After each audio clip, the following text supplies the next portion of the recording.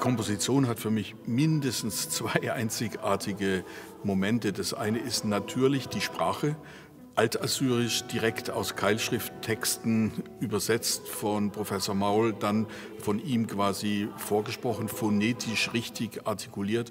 Äh, das ist eine Chance ohne Ende, die habe ich natürlich sofort ergriffen, da was ganz Neues zu machen.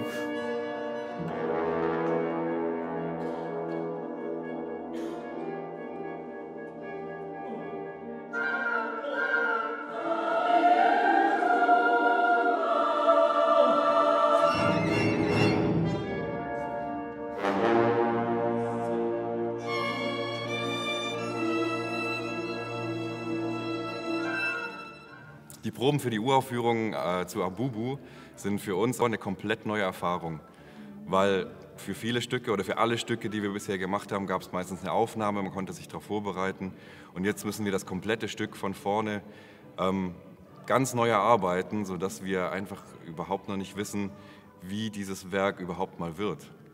Ja, und auch einfach die Tatsache, dass der Komponist selber im Raum ist und bei der Probe dabei ist, ist so eine spannende und neue Erfahrung. Plötzlich kann man nachfragen, wie ist das gedacht oder man kriegt Tipps.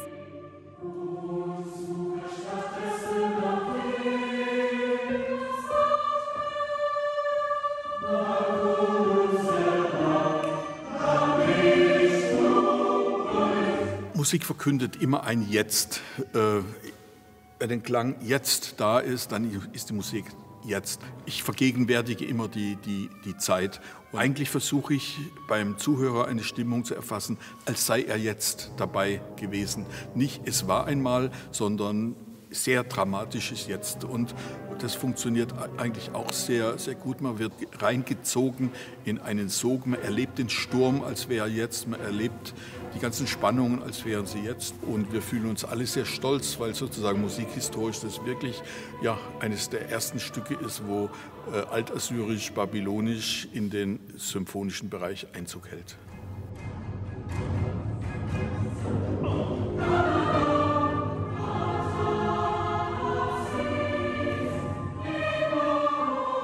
Für mich ist das was total Besonderes. Jedes Mal, wenn wir proben, fühle ich mich ein bisschen an Kamina Burana erinnert und äh, da gibt es auch total viele so rhythmische Elemente und ähm, ist einfach ein Stück, wo man als Person total mitgehen muss und nicht nur einfach singt, sondern mit, so mit dem ganzen Körper dabei ist. Und das finde ich richtig cool.